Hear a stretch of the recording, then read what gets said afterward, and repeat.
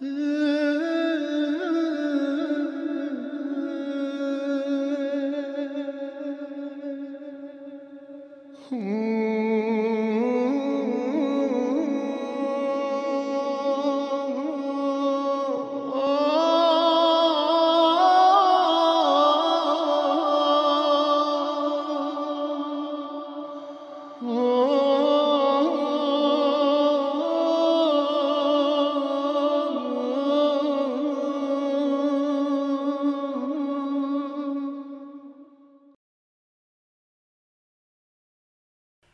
بسم الله الرحمن الرحیم السلام علیک یا جعفر ابن محمد با درود و سلام خدمت شما بینندگان عزیز و گرامی تلویزیونی جهانی هادی شما همراهان همیشگی برنامه به وقت بیداری امیدوارم که شب خوبی داشته باشید و در شب شهادت امام صادق علیه السلام که بیننده برنامه هستید. این مصیبت به محضر مولا و آقایمان امام زمان اجل الله تعالی فرجه الشریف و به همه دوستداران و پیروان و محبان امام صادق علیه السلام مخصوصا به شما بینندگان عزیز و گرامی تسلیت میگم. به همین مناسبت در خدمت مهمان و کارشناس گرامی جناب حجت الاسلام و المسلمین استاد رزوی هستیم با موضوع بزرگان اهل سنت در محضر امام صادق علیه السلام سلام علیکم جناب استاد رزوی شب شما بخیر باشه. انشالله بسیار بسیار خوش آمدید به برنامه خودتون و شهادت مولای من امام صادق علیه السلام خدمت شما هم تسلیت عرض می‌کنم. عرض سلام دارم محضر شما و محضر همه بینندگان عزیز. متقابلا شهادت حضرت امام صادق پیشوای راستین و رئیس مذهب تشیع را محضر شما و بینندگان عزیز عمیقا تسلیت عرض می‌کنم.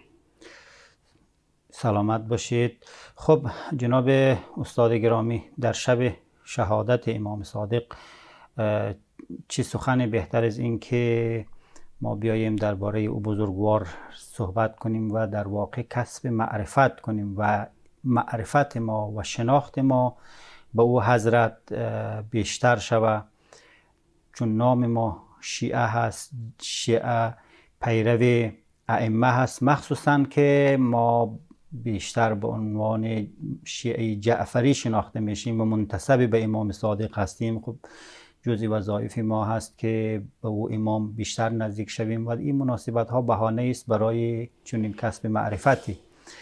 خب قبل از اینکه سراغ موضوع بحث که بزرگان اهل سنت در محضر امام صادق هست برویم سوالای دری باره بپرسیم. از جناب عالی می‌خواهیم که به صورت بسیار کوتاه و مختصر درباره زندگی امام صادق اینکه کی و کجا و چه صورت به دنیا آمدن و چه قسمی از دنیا رفتن برای ما اطلاعاتی را بفرمایید. اعوذ بالله من الشیطان الرجیم. بسم الله الرحمن الرحیم. السلام علیک و معدن البرکات. یا جعفر الصادق علیه السلام حضرت در سال 83 هجری قمری در مدینه منوره در خانه حضرت باقر العلوم علیه السلام از مادر نیک ام فروه به دنیا آمد. بله. خب 17 ربیع الاول خیلی معروف ولادت حضرت امام صادق علیه السلام با ولادت پیامبر زمان با ولادت حضرت پیغمبر بزرگوار اسلام صلی الله علیه و آله و سلم است. بله. خب حضرت تقریبا از ائمه بود که طول امامتش حدودا سی و چند سال طول کشید. یعنی از مسنترین ائمه شیعیان درست. ماست و حضرت توسط منصور دوانیقی در سال 148 هجری قمری توسط اون سمی که در انگور مخلوط کرده بود و از دنیا رفتن و به شهادت. رسیدن و مسموم شدن که انشاءالله روح مولای ما از طرف همه ما شاد باشه و روح و بشارت از این مجالس و برنامه ها و پخش هایی که داریم به روح حضرت ایشان ایثار و نثار شود انشاءالله جناب استاد بزرگوار خب ما امام را با امام صادق را جعفر ابن محمد صادق به عنوان ششمین امام معصوم به عنوان ششمین پیشوای معصوم و جانشین پیامبر ما که میگیم یعنی ما شیعیان می‌شناسیم و برای ما بسیار بزرگ است و واجب الاحترام است و واجب الاطاعه هست و در واقع ما وقتی که به معارف شیعه نگاه می‌کنیم بخش بزرگ از روایات مذهب ما از زبان همین امام بزرگوار نقل شده. خب علی این تنها ما نیستیم که به امام صادق چنین قدر و عظمت قائل هستیم برای ایشان. ای- اهل سنت هم اگر به اندازه ایمان نیست ولی خب قدر و منزلت بی‌نظیری در بین اماما به امام صادق قائل هستند. خب این احترام و این نگاه که اهل سنت به امام صادق داره از کجا آمده؟ چی منشأی داره؟ حضرت امام صادق به تعبیر دیگر در نزد اهل سنت شناخته تر از اهل تشیع می‌تونه باشه عجب. چون تمام بزرگان اهل سنت مثل زهبی، شبلنجی، آلوسی و کسان دیگری که واقعا اهل تحقیق بودند حضرت را با یک دید خاصی مطرح کرده. تنها تفاوتی که ما با اهل سنت داریم در اعتقاد کلامی ماست که ما حضرت را به عنوان پیشوا مطرح می‌کنیم. بله. به عنوان امام ششم مطرح می‌کنیم. اما اهل سنت حضرت را از دید علمش دانشش ورعش پارسایش و خصوصیات دیگری که واقعا در حضرت بوده و بزرگان اهل سنت از محضر حضرت کسب فیض کردند بیشتر معرفی کرده در کتاب هایی که اینها واقعا در ادوار تاریخ آمده اینها را تعلیف کردند و در دسترس همگان است. بله. که ما اگر به کتب اهل سنت مراجعه کنیم در حقیقت ما تمام معارف اینها را داشته حضرت امام صادق و ائمه خود ما می‌تونیم بگیم هست. خب به تعبیر دیگر پس بنابراین تمام مذاهب اسلامی اهم از شیعه و اهل سنت حضرت با دید احترام نگاه می‌کنه. چرا؟ به خاطر اینکه واقعا داشته های دینی ما از بزرگان مثل حضرت امام جعفر صادق علیه السلام و امام محمد باقر که همینطور دنباله داشته تا حضرت امام زین العابدین و علی ابن ابی طالب علیه السلام اینها آمدن همه اون چرا که داشته های اسلامی است منتصب کردن به این خاندان. اگر ما فاصله حضرت علی علیه السلام تا امام جعفر صادق رو در نظر بگیریم در حقیقت تمام اونچه که مسلمان ها داره از اینها تراش کرده. از این بیت بیت فضیلت. خاندان رسالت برخواسته. حالا در مقطعی که یک افولی در تاریخ پیش آمد از زمان حضرت علی تا حضرت امام جعفر صادق و حضرت امام محمد باقر ما می‌تونیم بگیم از اون برهه تا این برهه اون چی که هستون نیست در اسلام و در میان مسلمین از این خاندان است و به خصوص حضرت امام محمد باقر و حضرت امام جعفر صادق که اینها توانستند در اون برهه تحولی که در تاریخ پیش آمد که تبدیل حکومت اموی به حکومت عباسی بود کاملا استفاده و بهره برداری کنه. این بهره برداری نتیجهش تربیت شاگردان مخلص و رسیدن بزرگان اسلام و اعم از اهل سنت و تشیع در محضر امام باقر و حضرت امام صادق بود. خب ببینید ما اگر در حدیث مراجعه کنیم بر اساس اونج که اکثر بزرگان مطرح کردن ابان ابن تقلب تنها یک از شاگردان حضرت امام صادق بود. سی هزار حدیث سی هزار حدیث از حضرت امام محمد باقر و حضرت امام جعفر صادق به خصوص اینها آمده. نقل کرده. خب تقریبا حدود چهار هزار شاگرد به تعبیر حالا اینطوری نبوده که مثلا همیشه حضرت امام جعفر صادق مثل مدارس فعلی یا مکاتب و دانشگاه فعلی کلاس داشته باشه. درست کلاس هم داشتن. اما در تطور بله. زمانی که پیش می آمد بزرگان می آمدن از محضر امام صادق کسب فیض می‌کردن و از جمله بزرگان اهل سنت است که حالا در خلال برنامه انشالله توفیق بود به این مطلب اشاره می‌کنیم بله بسیار بجاست و ما مشتاق هستیم که بفرمایید وارد اصل بحثیم که خب عنوان بحث ما هست بزرگان اهل, سنت در محضر امام صادق. خب ما وقتی که به احادیث شیعه برمیخوریم به نامه های بسیار بزرگ و برجسته مثل زراره و مثل ابو بسیر و مثل محمد بن مسلم برمیخوریم که و ابان بن ترغیب که شما اشاره فرمودید. اینها از امام صادق حدیث نقل کردن و در واقع شاگردی کردن و معارف امام صادق با ما منتقل, منتقل کردن. ولی خب ما بسیار مشتاق هستیم که ببینیم بزرگان اهل سنت با امام صادق چه نسبت برقرار می‌کنن؟ چه رابطه برقرار می‌کنن؟ چون معروف است که بعضی از بزرگان مذاهب اهل سنت اینها شاگرد امام صادق بودن.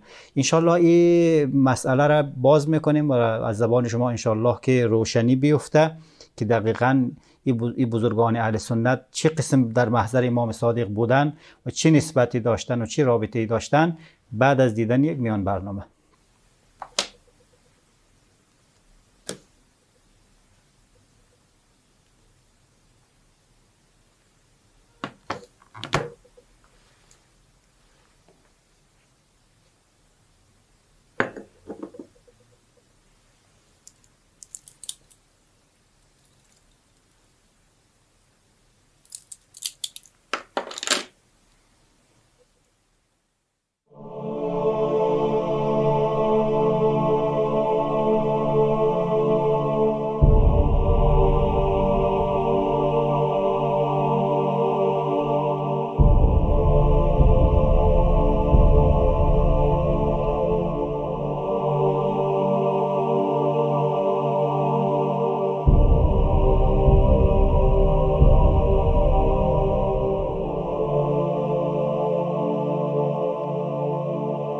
امام جعفر ابن محمد ابن علی ابن الحسین علیه السلام. ششمین امام شیعه و پنجمین امام از نسل امیر المؤمنین علیه السلام است. کنیش ابو عبدالله و لقب مشهورش صادق است. در روز هفته ربیع الاول سال 83 هجری قمری در مدینه متولد گردید و چون فقیهان و محدثان معاصر او که شیعه هم نبودند حضرت را به درستی حدیث و راستگویی در نقل روایت ستودهاند به لقب صادق شهرت یافته است. نام مادر او فاطمه یا قریبه و کنیه اش ام فروه بود.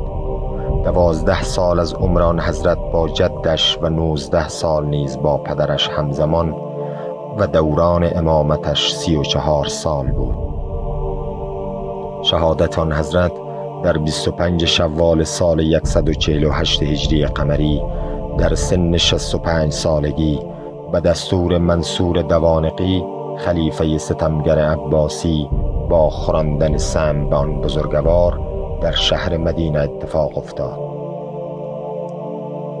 پس از شهادت آن حضرت فرزند برومندش امام موسی بن جعفر علیه السلام او را با دو جامعه سفید مصری که در آن احرام میبست و در پیراهنی که میپوشید و در امامه ای که از امام زین العابدین علیه السلام به او رسیده بود کفن نمود و بر آن حضرت نماز خواند و بدن متحر او را در قبرستان بقی در کنار قبر جد بزرگوارش سید الساجدین علیه السلام به خاک سپرد. سلام بر او. از میلاد تا میاد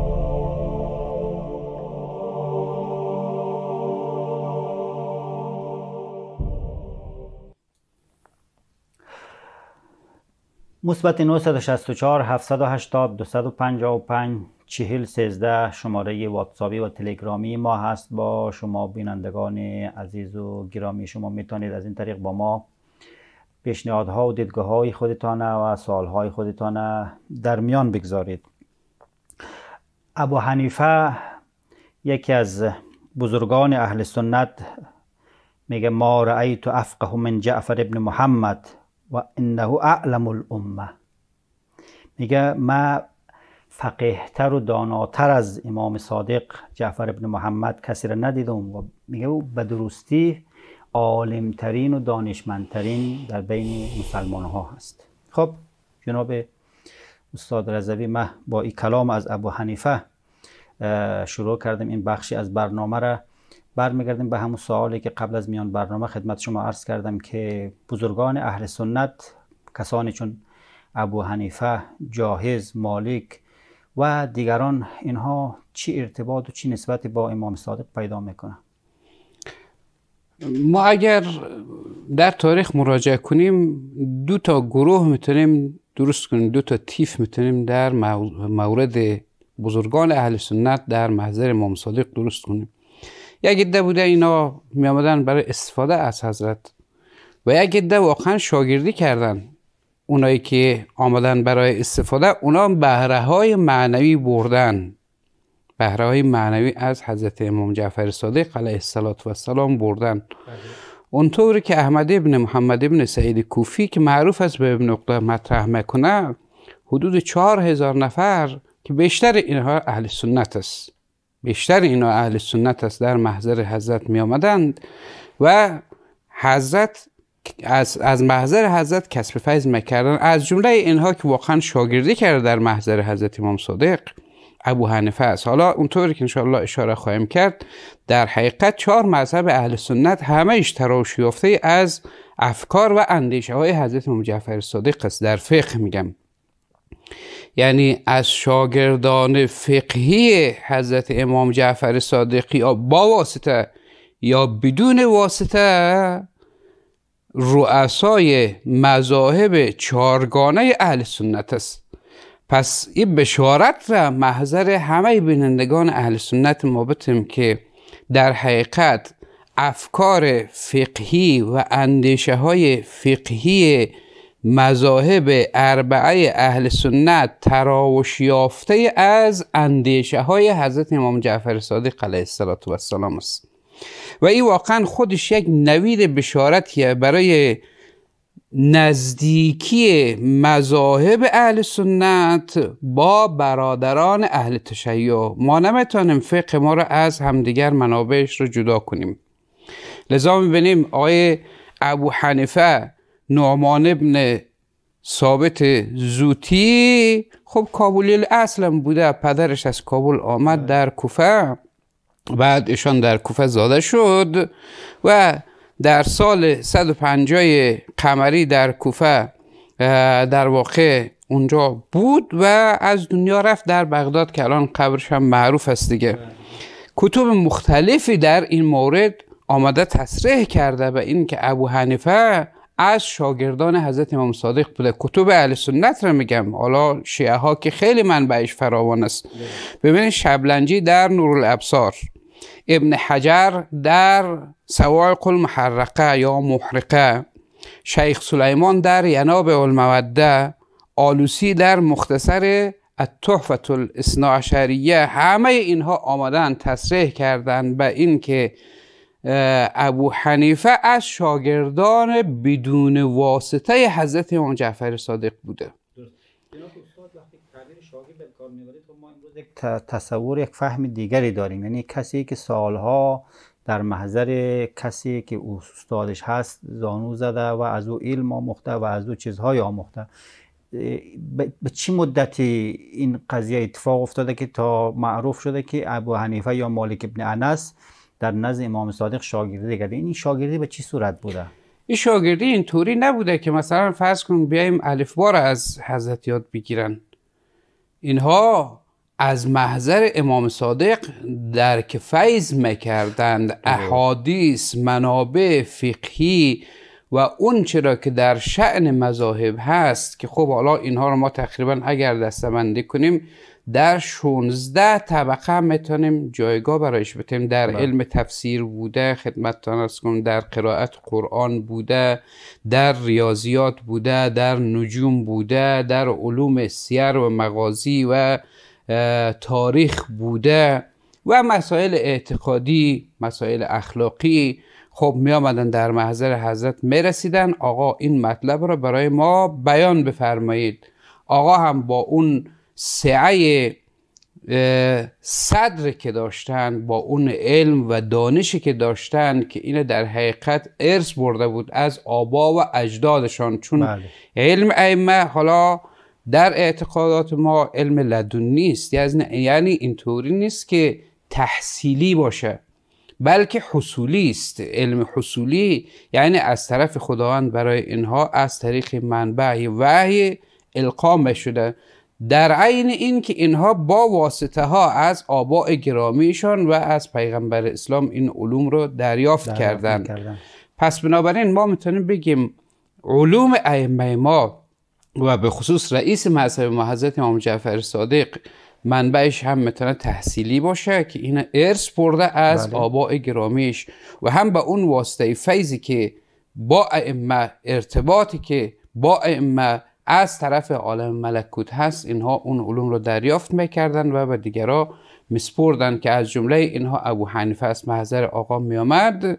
می‌گفت آقا در مورد فلان مسئله نظر شما چیست؟ حضرت این نظر را بیان می‌کرد تا اینکه این نظر مبنا شود برای اصولی که در علوم مختلف مذاهب اربعه از اونها استفاده میشه. رضا همونطوری که شما گفتید خب بله. کلام ابو حنیفه را اگر ما بررسی کنیم در کتب مختلف آمده لولا سنتان لهلک نعمان دو سال آمد در محضر حضرت کسب فیض واقعی کرد که این دو سال منشأ تراوش های فقهی نظریات ابو حنیفه در مسائل مختلف اسلامی و به خصوص علم بود که خودش میگه بله. اگر این دو سال نبود لهلک نعمان.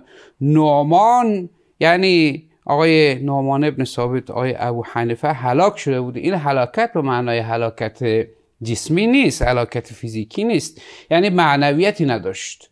یعنی دیگه چیزی در کیسه خودش از منابع فقهی و برنامه فقهی نداشت. بله. این مطلب خب آلوسی در همون تحفه اصناعشری آماده بیان کرده و دیگران هم این مطلب را آمدن بازگو کردن. یا میگه اعلم الناس.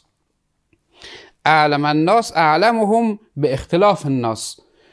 منصور دوانقی یک مجلس رو برگزار کرد. بله. برای اینکه بتانه حضرت صادق را مزمحل کنه از نظر دانش. درست. مسائل را جمع جور کرد داد دست ابو حنیفه. خب آیا ابو حنیفه شما اینا رو مطالب را بازگو کن تا نتونه حضرت صادق علیه السلام جواب برای اینها داشته باشه تا اون شعاع نورانیتش علمش دانشش زیر سوال بره. مجلس رو برگزار کرد ابو حنیفه وارد شد. حضرت امام جعفر صادق هم اونجا بود. ابو حنیفه هم در کنار نشست. منصور دوانقی مطرح کرد خب آقا جان آقای ابو حنیفه مطالب که داری بازگو کن. بعد این شروع کرد یکی یکی سوال کردن یعنی به تعبیر همونطوری که شما سوال می‌کنید. بله. اونم شروع کرد به سوال کردن. حضرت امام جعفر صادق نه تنها پاسخ مسائل را می‌گفت که حتی با نظریات مختلف این میامد مطرح می‌کرد.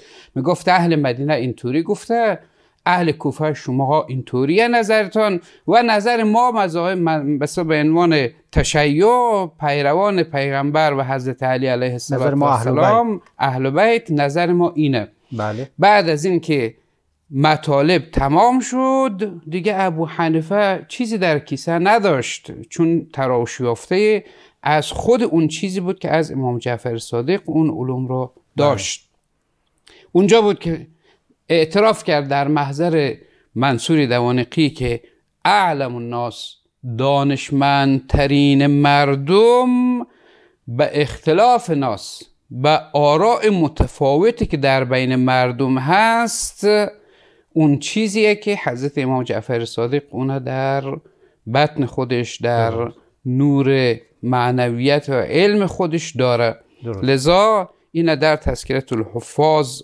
جلد یک صفحه 166 و همچنین مناقب ابی حنیفه جلد یک صفحه 252 علمای اهل سنت آمدن مطرح کردن یا اون کلامی که شما گفتید ما را ایت افقه من جعفر ابن محمد الصادق علیه السلام. خب اینها اعترافاتی است که خود اینها دارن و در منابع اهل سنت همچین در منابع اهل تشیع و مذاهب اسلامی اینها مطرح شد. بسیار عالی باز هم یک وقفه داریم. همراه با بینندگان عزیز و گرامی میان برنامه ای را که همکارای ما زحمت کشیدن به مناسبت شهادت امام صادق تهیه کردن می‌بینیم و انشالله که استفاده کنیم.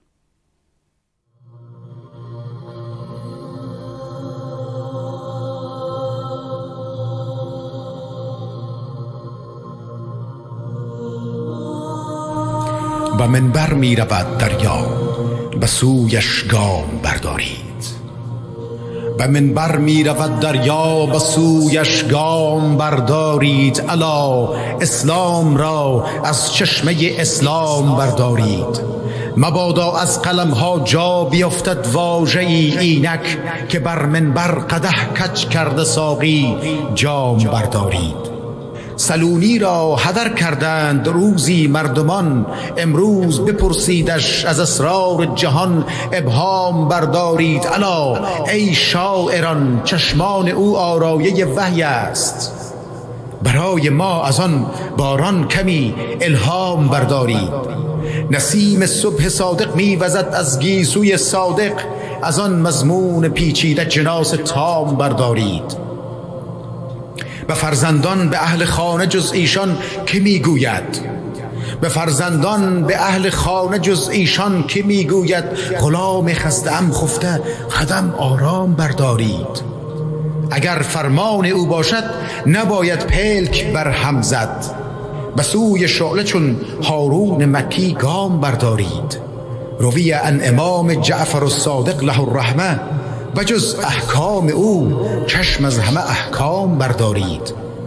بجای حج به سوی کربلا رفتن خداجویی است. کفن باید به جای جامعه احرام بردارید. اگر در گوش نوزادی از آن می‌خواند میفرمود که با آب فرات و تربت از او کام بردارید. میان شعله ها آیات ابراهیم میسوزد. میان شعله ها آیات ابراهیم می سوزد میان گریه. ختم سوره انعام بردارید.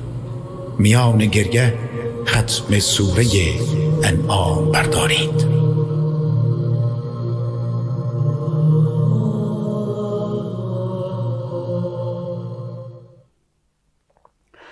امام صادق علیه السلام میفرماید سلونی قبل ان تفقدونی. فانه لا یحدثکم احد بعدی به مثل حدیثی همانند جد بزرگوارش امام علی علیه السلام امام صادق هم میفرمود قبل از اینکه مرا از دست بتین و مرا نیابین از من بپرسید. به چنین فراخانی از هر کسی بر نیاید جز امام معصوم که متصل به معدن وحی هست. بله جناب استاد گرامی شما فرمودید و اینکه بزرگان اهل سنت مانند امام ابو حنیفه نعمان ابن ثابت و دیگران در محضر امام صادق بودن و از اون استفاده می‌کردن. در واقع میشه به صورت گفت که اینها خودشان انسان های معمولی نبودن. یعنی من یک موقعیت اجتماعی و موقعیت مذهبی داشتن. مرجع بودن برای عده که پیروانشان بودن. ولی در عین حال اینها بازم می آمدن پیش امام صادق به خاطر اون عظمت و شعاع بسیار بزرگی که امام داشتن. اینها می آمدن تحت تحت شعاع علم و معرفت و دانش امام صادق قرار می گرفتن به همین صورت بوده؟ در تصحیح مطلب اینطوری باید بگیم که بالاخره به ما مطلب را اگر از یک کتاب برداشت می‌کنیم معنایش این نیست که ما کتابیم.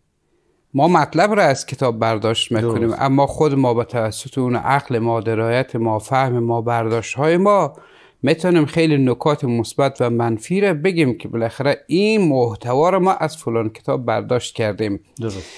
در شاگردی و رسیدن محضر حضرت امام جعفر صادق وقتی ما میگیم مذاهب اربعه تراوش یافته از افکار حضرت بود یعنی اینها می‌رفتن محضر امام درک فیض می‌کردن مطلب را می‌گرفتن.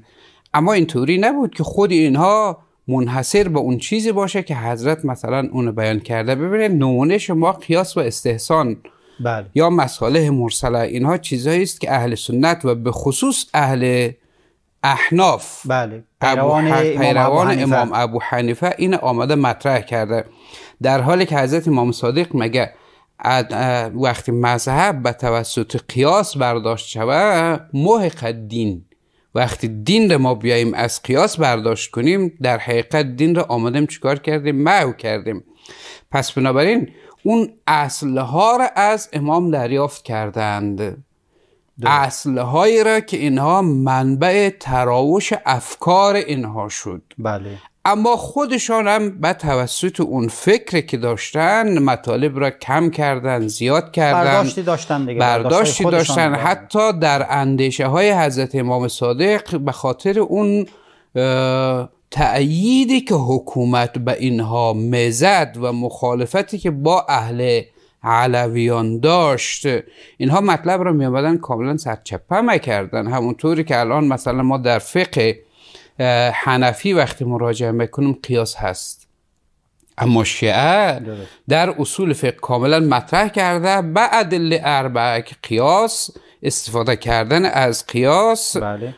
خب باعث محو دین میشه. پس بنابراین اینطوری نیست که ما میگیم اینها وقتی محضر امام صادق می‌رسیدن و مذاهب اربعه تراوش یافته از افکار امام صادق است. معنایش این نیست که حضرت را اون که داشت و نداشت که به اینها داد اینها استفاده کردن بلکه آمدن بعض موارد سرچپه هم کردن درست. مخالفت هایی که ابو حنیفه با حضرت امام صادق هست و داشت یا سایر ائمه اهل سنت خب اینها در تاریخ مطرحه درست. پس بنابراین اولین کسی که به عنوان شاگرد فقهی ما امام صادق ما مطرح کردیم آقای اب- ابو حنیفه نعمان ابن ثابت بود بله. که خب این بدون واسطه از حضرت آمد کسب فیض کرد و برداشت های فقهی را از مطالب امام صادق علیه السلام امام صادق علیه السلام آمد اینو برداشت کرد و متن مذهب خودش قرار داد حالا به خاطر که بحث یک مقدار پیش ببریم و وقتی اندکی باقی مانده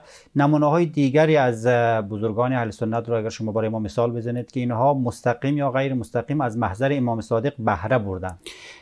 خب ما اگر واقعا بخوایم دستبندی کنیم هم در تفسیر هم در تاریخ هم در خدمتتان عرض کنم که فقه تفسیر قرآن و بله. مطالب دیگری که در علوم اسلامی مطرح هست که ده دوازده علم است اکثر بزرگان اهل سنت از محضر امام صادق این علوم را آمدن برداشت کردن از جملهش هم مالک ابن انس است خب مالک ابن انس یکی از خاطراتی که واقعا در موردش هست بنده خدا رو جعفر ابن سلیمان عباسی که ولی مدینه بود این اونقدر کتک زد که میگن در حقیقت چهار تا رسمان دست و پای اینها رو بسته کرد و اونقدر رسمان را کشید که بازوی این بنده خدا کنده شد و در سال 179 هجری قمری در مدینه از دنیا رفت. خب این از شاگردان حضرت امام جعفر صادقه ببینید میگه مدتی نزد جعفر ابن محمد رفت آمد می‌کردم. او را همیشه در سه حال بیشتر ندیدم. یکی در حال نماز بود یا روزه می گرفت یا در حال تلاوت قرآن بود. سخنی که در مورد حضرت داره میگه لا یتکلم به ما لا یعینه و کان من العلماء العباد الزهاد الذین یخشون الله. ببینید این کلام مالک ابن انس میگه حضرت همیشه وقتی صحبت می‌کرد صحبت نداشت که در واقع هرزگی باشه لغو باشه. بهوده باشه و بدون معنا و مفهوم باشه. همیشه حرفایی که می‌زد حرفای حق بود و بجا. حرفایی بود که واقعا می‌شد از اونها برداشت مطلب های دینی و اساسی را کرد و در تعریفش میگه حضرت از علمای عبادت کننده هست که زیاد عبادت می‌کرد و از زاهدان زمان خودش بود. که این مطلب را ابن حجر در تهذیب و تهذیب جلد دو صفحه 104 میگه کلام دیگرش اینه که ما رأت عینون. ببینید کلامش خیلی جالبه. ما رأت عینون ولا سمعت اذن ولا خطر على قلب بشر افضل من جعفر ابن محمد الصادق علما و عبادتا و ورعا این امام مالک این. امام مالک میگه. بله. همون منبعی که گفتیم در اونجا آمده ابن حجر در مثلا تهذیب و تهذیب مطلب رو آماده مطرح کرده. میگه ببینید چشمی ندیده گوشی نشینیده و حتی در قلب بشر تصویر نمیشه که کسی با فضیلت تر از امام جعفر صادق علیه السلام باشه. خب این آقا خودش رئیس مذهب بود دارای تفکر و اندیشه مستقل بود.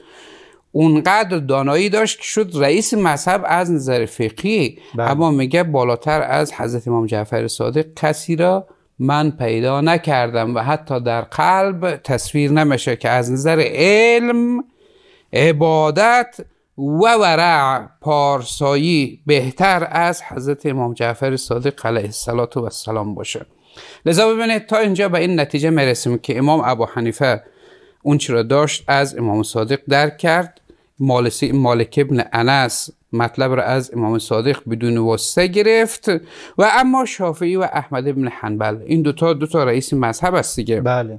از شاگردان با واسطه حضرت امام جعفر صادق. ببینید ابن ابی الحدید در نهج البلاغه خودش در شرح نهج البلاغه. در شرح نهج البلاغه که داره در جلد یک صفحه 18 میگه تمام کسانی که در مذاهب اربعه هست اینا علوم خودشون رو دریافت کردن از امام جعفر صادق. یا با واسطه بوده یا به واسطه. و. این هم منبعش حضرت علی علیه السلام ابا حنیفه و مالک بن انس بدون واسطه دریافت کرد.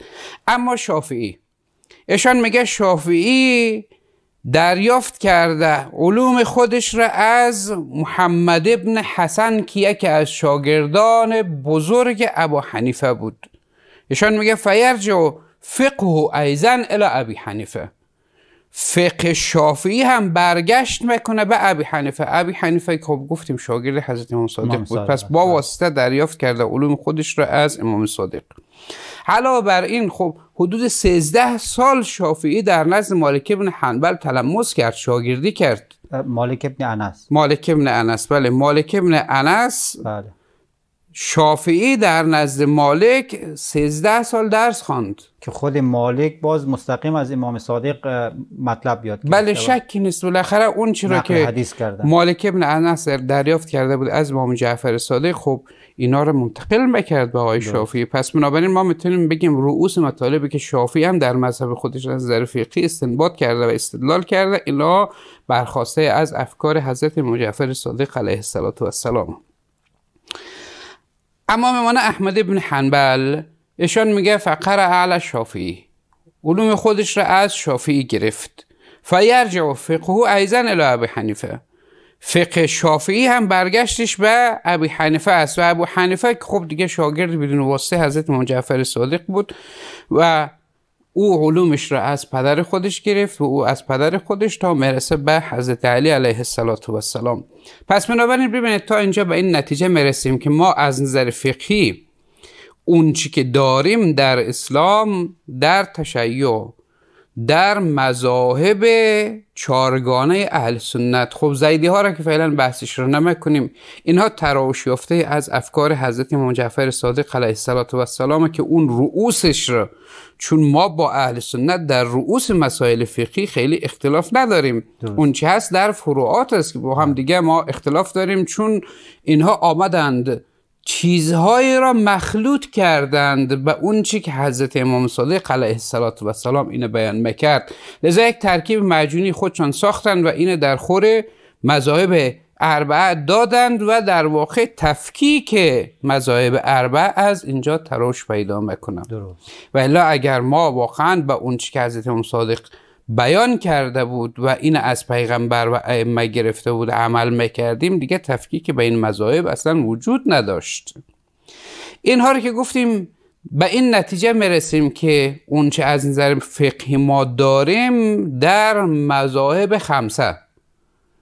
مذاهب چارگانه اهل سنت و, مذهب جعفری. مذهب جعفری. اینها از نظر فقهی تراوش یافته از افکار و اندیشه های بزرگ حضرت امام جعفر صادق علیه السلام و السلام. خب بسیار سپاسگزار هستیم جناب استاد رضوی. فرصت گفتگوی ما هم همینجا به پایان می‌رسه.